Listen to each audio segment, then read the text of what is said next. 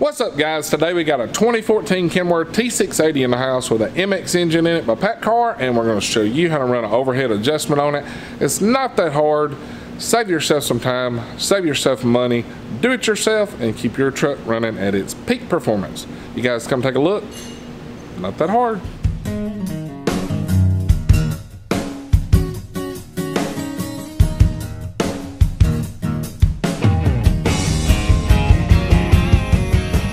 Alright guys, Wally's going to show you what tools you're going to need to do this overhead project and what each one of them's used for.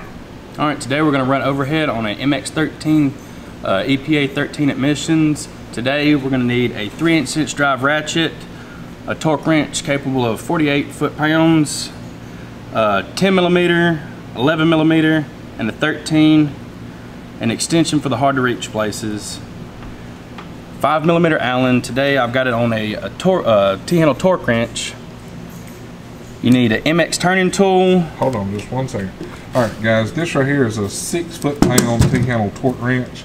You don't have to have this. You can use just a regular 5 um, millimeter T-handle or any kind of a 5 millimeter Allen and then you'll use your feeler gauges to, uh, to set your tightness with, but this right here just makes it easier and you keep them all the same.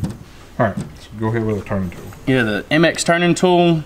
I have an adapter, uh, 3 8 inch to half inch for the ratchet, 13 millimeter for the inspection bolts, 18 millimeter offset wrench for uh, the jam nuts on the rockers.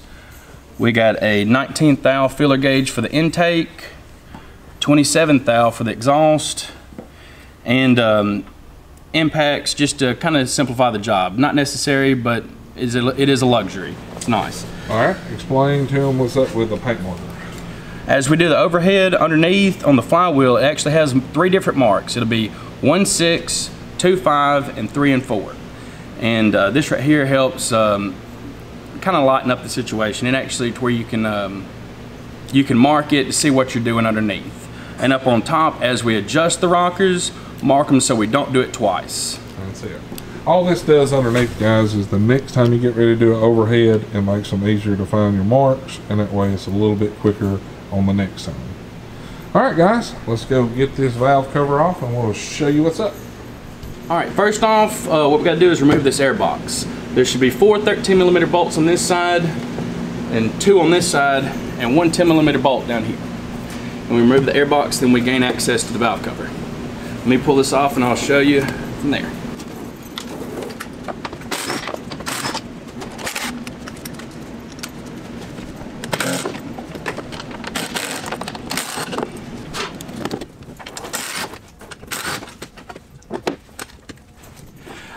After the air filter removal, next we remove the valve cover. There should be 16 uh, uh, 11 millimeter bolts in there.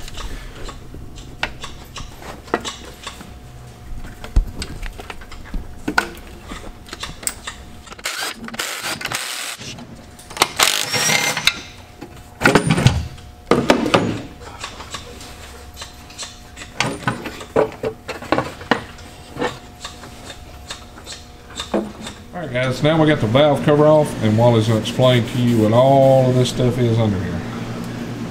Alright, first off you have your rockers assembly.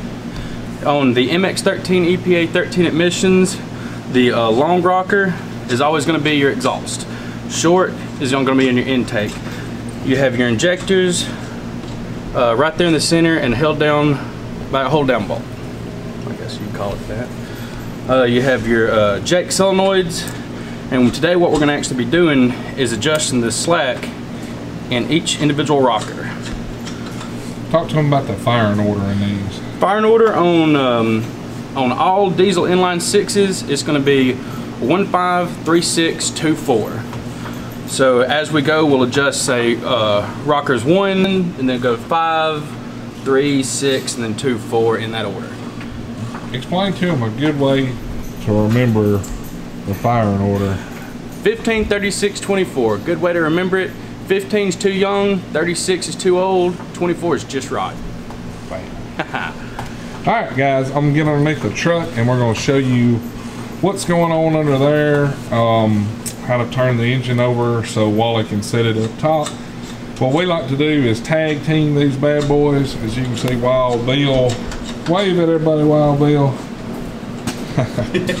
Wild Bill's under the truck, and uh, we'll show you what's going on under there, show you what the marks look like, and then we'll get back up here and show you how to do overhead. Y'all hang in there.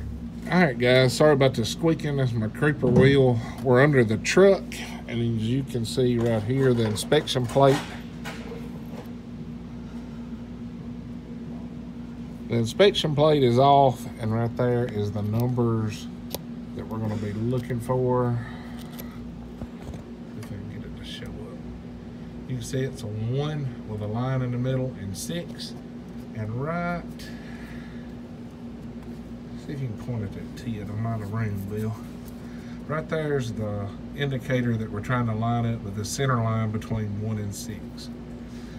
Bill's got the turning tool in here. You want to explain to him what you did with the bolt? All right, the bolt for your cover, if you'll take and put the tool in, it's spring loaded. If you'll take and put the turning tool in and then put a bolt in there, just run it in hand tight and it'll kind of hold it in place and keep it from trying to jump out while you're turning the turning the engine over. All right, so there's the marks you guys can see that we're trying to work with under the truck.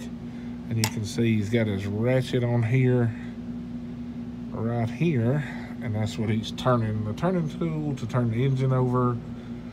So that's what it looks like under here. Like I say, I'll go back up top and uh, we'll see what's going on on the top side.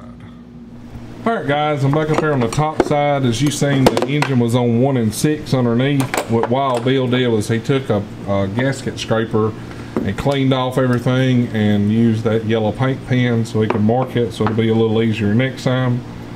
So Wally is going to show you what's going on up here on the top side. All right. Bill has informed me that we got number one or number six um, marked down on the bottom. We'll check for slack on number one. Looks like we got both of them. And number six, your intake valve is down. So we know number one is going to be the one that we're working on.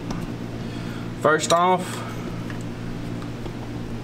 crack your jam nuts loose. I normally do both of them at the same time. And like I said earlier, your short one is your intake, long one's gonna be your exhaust. Always thicker is gonna be on the exhaust side. As you got the Lang Master Feeler gauge kit like that, the red side you use for exhaust, blue side's the intake, so that's always handy. All right, after our uh, jam nuts are loose, we'll back off on our uh, adjustment nut.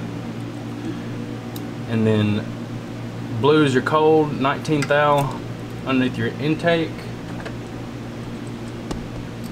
Run it down. And then tighten your jam nut.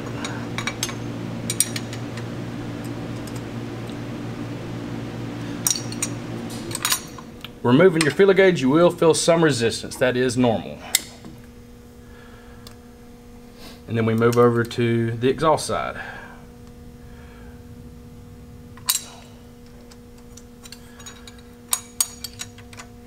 Tighten our jam nut on the exhaust.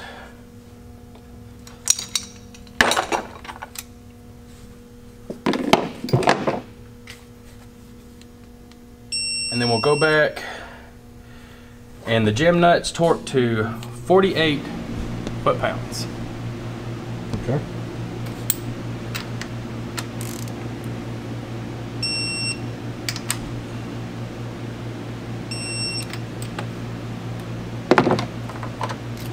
And I always mark them so I know which ones I've done.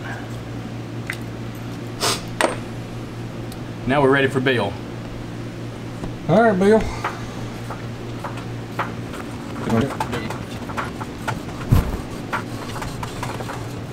Three and four. which ones? Three and four. Three and four. Looks like number three, intake's down. Four, we're loose on both.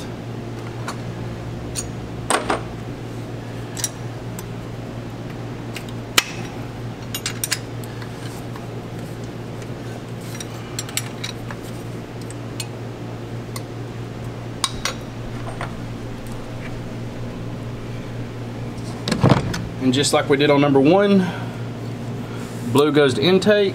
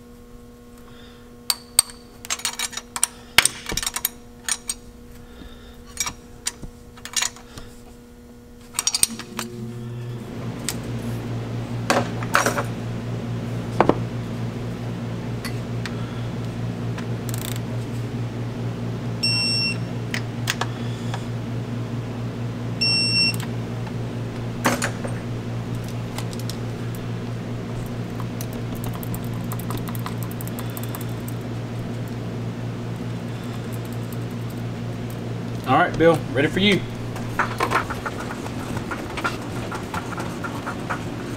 Two and five. Two and five.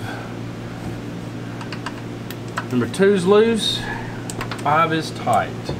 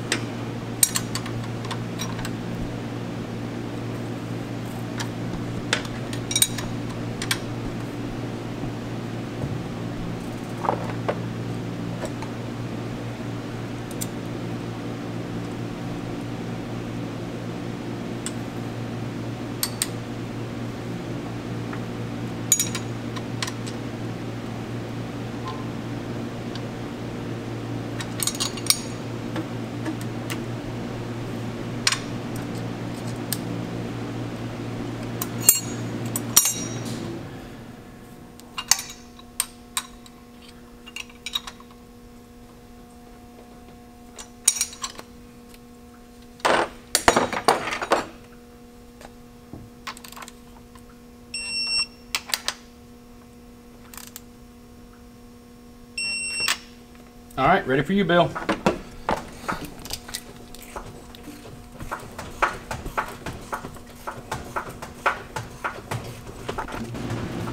As you guys can see, it's way faster when you got two people, so you don't have to jump down off the tire and run underneath there and crank it over to your next mark. I do want to show them something. After you've done spun the engine over again, you'll catch a lot of slack only on the exhaust side. One and six. That is normal operation as the exhaust side is hydraulically controlled for Jake operation. So that is normal operation to have excessive slack only on the exhaust side. All right, Now- on one and six. Yes, one and six, and now six is loose, one is tight.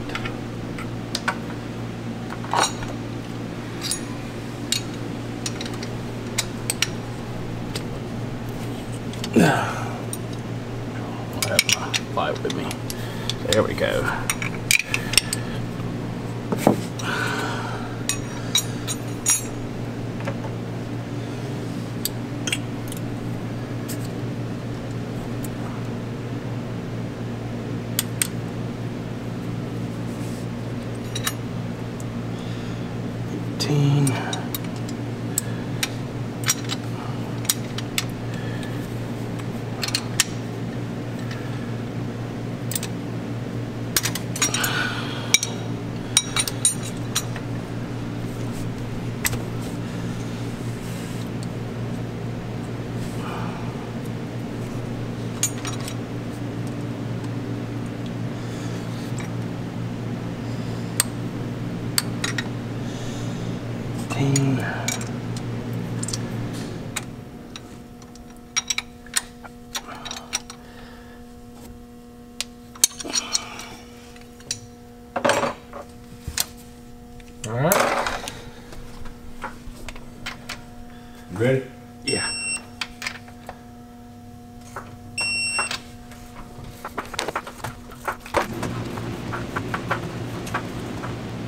Four. Three and four. It's like four is tight, which you can tell we have already done it. Takes a lot of the guesswork out.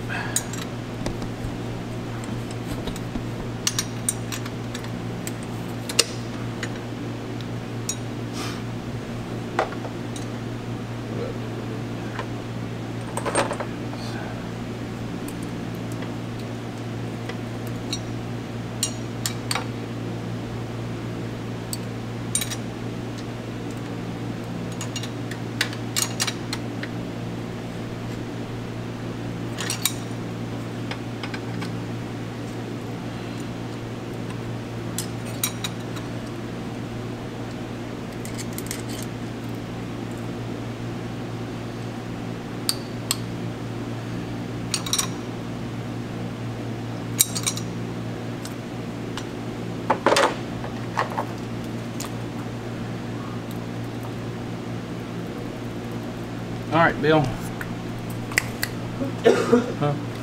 Oh yeah, yeah, yeah. Hold on, Bill. Sorry about that. If you go back.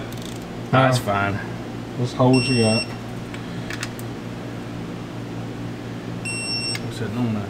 All right, Bill. Two and five. Two and five.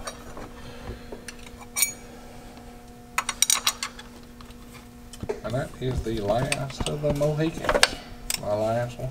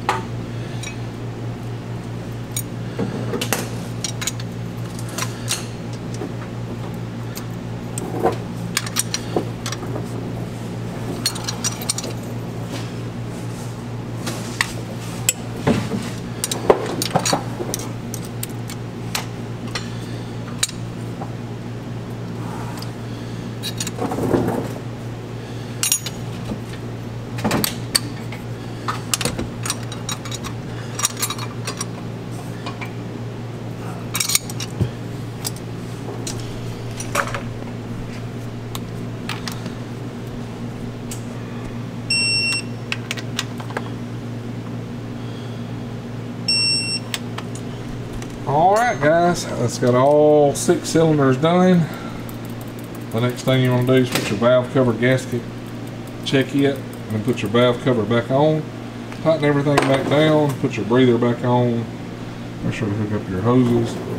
And check for leaks. Be sure to put your inspection cover back on and remove the turning tool because that's a very expensive tool to be losing. That make for a bad day. That will make for a bad day. Anyway, guys, that's how you run it overhead on your PACCAR MX engine. If you like this video, be sure to hit that thumbs up and click that subscribe button right down there. You guys have a great one, and we will catch y'all next time.